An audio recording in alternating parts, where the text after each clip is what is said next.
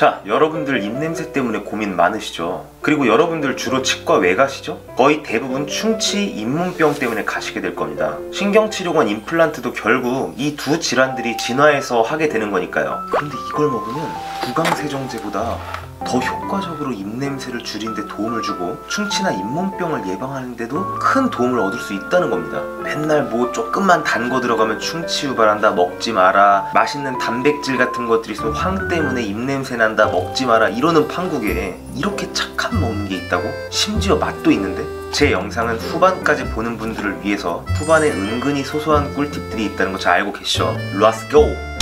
자 여러분들 요거트 혹시 좋아하시나요? 저는 진짜 환장 요거트 하면 뭐가 제일 먼저 떠오르세요? 연관 검색어 유산균이겠죠? 그럼 이 유산균 하면 또 자연적으로 뭐가 떠올라요? 장건강 장건강 하니까 좀 아재 같다 뭐 사실 아재는 아니긴 하죠 근데 글쎄 비교적 최근에 이 유산균이라는 키워드가 치과에서도 다시 각광을 받고 있는데 그 이유가 유산균이 장 속의 건강뿐만이 아니라 우리 입냄새 그리고 충치, 잇몸병을 유발하는 세균들을 잡아 없애준다 라는 그런 연구 결과가 나오고 있다는 겁니다. 이 뭔 사이비 같은 소리냐 하도 이제 경제가 어려워지다 보니까 유산균이나 요구르트, 유제품 파는 회사들이 이런 상수를 해먹으려고 하냐 라는 분들을 위해서 제가 유산균 자체 혹은 그것이 포함되어 있는 제품들이 우리 구강 건강에 효용이 있다 라는 논문들의 결과를 잠시 열거해 보도록 하겠습니다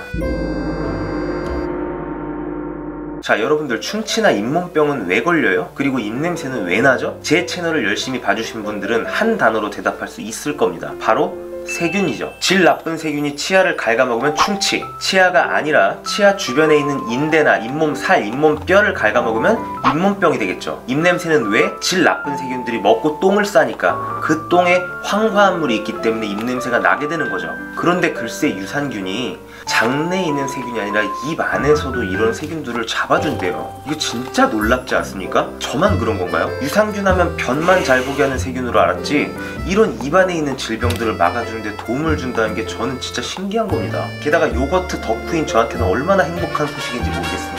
자 그럼 이제 여러분들은 슬슬 궁금해지기 시작하죠. 그럼 이렇게 시중에 팔고 있는 이런 요거트들 그냥 드립다 원샷하고 먹어대면 이런 잇몸병, 충치, 입냄새 예방에 도움이 되냐가 궁금한 점이 되시겠죠. 자 그런데 한 가지 아셔야 되는 게 유산균은 하나가 아니에요. 사람은 저 혼자가 아니죠. 사람이라는 큰 카테고리 안에 저도 있고 여러 많은 사람들의 각기 다른 이름들이 있는 겁니다. 그래서 유산균의 수많은 이름 중에서 우리 입냄새를 유발하는 세균 그리고 충치나 잇몸병을 유발하는 세균을 잡는 애들의 이름을 우리가 숙지하고 있어야 됩니다. 무조건 유산균이니까 뭐 유산균 있는 요거트 그냥 먹으면 되겠지 이게 아니라 요거트나 다른 제품들을 먹을 때도 그걸 잡아주는 유산균이 있는지를 확인하고 드셔야 된다는 겁니다. 자 이제 그들의 이름을 공개합니다. 외우기 힘든 분들은 적어두셨다가 제품들을 구매할 때 꼭 이 유산균이 있는지를 확인하고 드시면 좋을 것 같습니다. 하나는 Weissella cibaria 그대로 읽으면 Weissella cibaria 시바 두 번째는 Streptococcus salivarius K12 마지막으로 세 번째는 락토바실러스 살리바리우스 이 녀석도 이름 뒤가 살리바리우스네요. 그런데 이름 은근히 외우기 쉽네요. 시바리아, 살리바리아. 마, 내 입 좀 살리봐. 아쉽게도 우리나라에서 마트에서 쉽게 구할 수 있는 요거트에는 비피도박테리움이나 락토바실러스의 다른 종이 있는 유산균의 제품들이 많이 있어서 마트에서 구매한 요거트의 경우는 아무래도 구강보다는 장에 좀 더 직접적인 도움을 주는 경우가 많이 있습니다. 이런 거 알아보기 귀찮고 나는 맛을 좀 포기하더라도 내 구강에 직접적으로 효과가 있었으면 좋겠다 하시는 분들은 인터넷에 구강 유산균이라고 치시면 됩니다. 현재 쳐보면 뭐 이런 제품들이 뜨고 있네요. 여기 보이는 구강 유산균 CMU라는 것이 결국 아까 처음에 보여드렸던 Weissella cibaria라는 녀석입니다. 자, 이 Weissella cibaria가 특히 입냄새에 그렇게 직방으로 효과가 있다고 합니다. 알아두세요. 입냄새가 있으신 분들은 Weissella cibaria를 따라가시면 됩니다. 자, 근데 이 Weissella cibaria가 포함되어 있는 음식이 우리 주변에 많이 있습니다. 얘는 우리 주변에서 구하기 되게 쉬워요. 자, 그 음식은 뭘까요? 바로 김치입니다. 이거 게이드가 아닙니까? 요새 김장도 했겠다. 얼마나 맛있어요, 김치. 그럼 김치남 되면 입냄새 안 나는 거.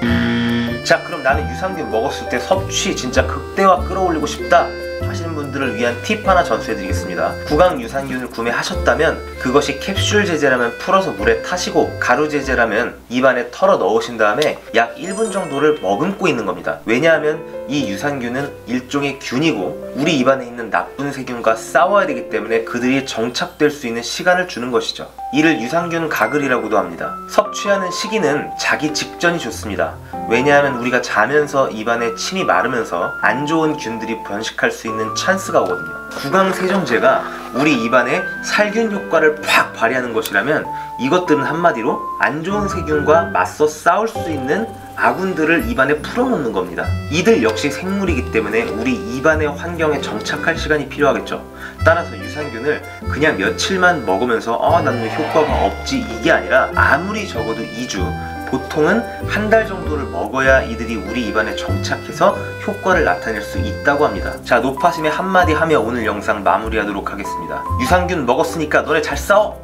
나는 너네만 믿고 잠 잘게 꿀잠 오늘 양치질 skip 이거 안 돼요 유산균과 구강건강이라는 키워드가 떠오른 건 비교적 최근이어서 유산균이 분명히 아까 말씀드린 것처럼 입냄새를 유발하는 세균 충치 잇몸병을 유발하는 세균에 도움이 되는 건 확실히 맞지만 정확히 효용성이 어느 정도인지 얼마만큼을 먹어야 되는지에 대한 디테일한 연구는 좀 더 이루어져야 됩니다. 따라서 너무 과하게 드실 경우에는 장 트러블이나 아니면 메스꺼움을 유발할 수 있다라는 걸 알아두시면 좋을 것 같습니다.